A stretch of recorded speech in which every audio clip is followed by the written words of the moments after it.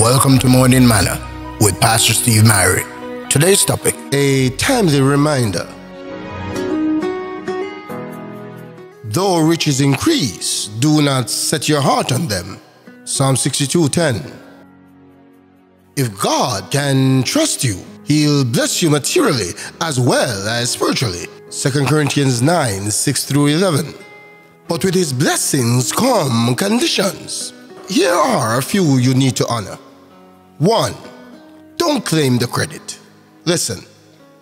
You may say to yourself, My hands have produced this wealth for me.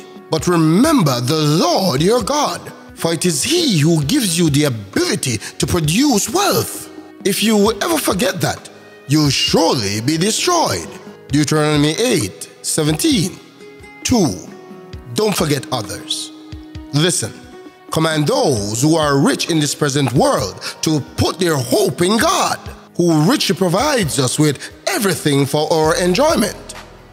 Command them to be rich in good deeds, generously willing to share. In this way, they'll lay up for themselves treasures.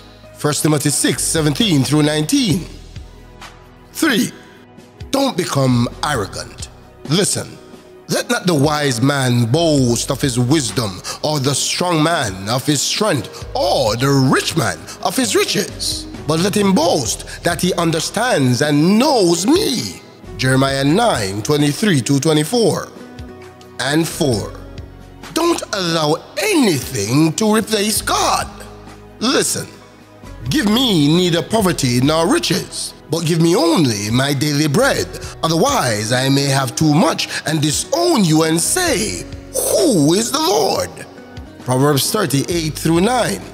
Remember that you don't own anything. You're just the administrator of his estate and the executor of his will. The thought for today make sure you do a good job with what he has given you. God bless you today in Jesus' name.